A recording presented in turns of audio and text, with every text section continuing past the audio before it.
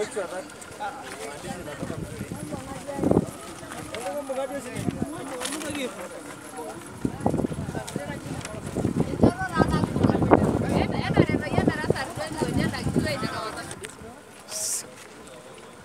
Kadidi Kapei from Oloomunyi, and I want to state that the reason why these people are here is to fight for their right, which is actually enshrined in the Constitution of Kenya. The, people, the, basis, the, the basis of this demonstration is these people want to have the land, which is Kajiado Central Dalakoto number 2, adjudicated in 1971, and it is a public land, but was grabbed by certain individuals. I want also to state that the entire leadership of Kajiado County is aware of this problem and they have been promising a solution for the same.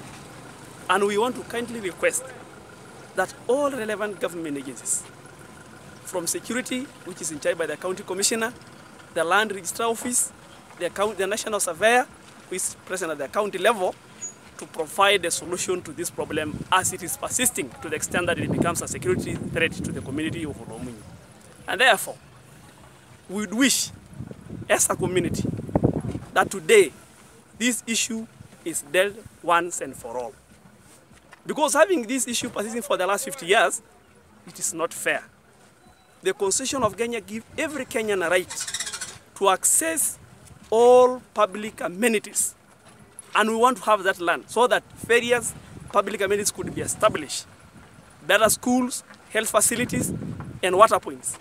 And we could not do all this without this land because somebody somewhere is taking advantage to grab, that, to grab the land. We will not tolerate that. And we are ready to take this, this war to every single level, whatever, the, whatever, whatever it costs.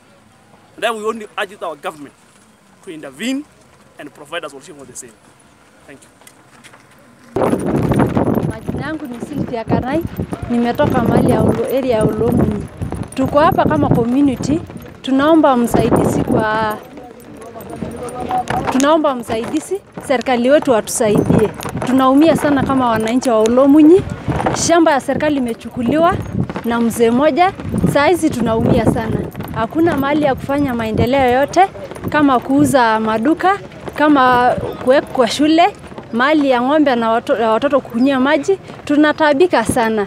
Kwa, kwa hivyo tunaomba serikali yetu watusaidie venye munaweza. Tuko hatarini, watoto wetu wanaumia na sisi pia tunaumia tukiwa wamama. Sasa mama akitaka kujifungua mpaka uende almost 30 kilometers ndio ufike hospitali mahali iko. Kama unataka kununua mboga, hakuna mali yote ya kufanyia hiyo maendeleo, maana shamba ya serikali imechukuliwa kama shamba ya mtu. Kwa hivyo tunaomba serikali mchukue hatua tafadhali. Shida itakuja kutendeka hapo kama kuna hatua yote yenye mtachukua.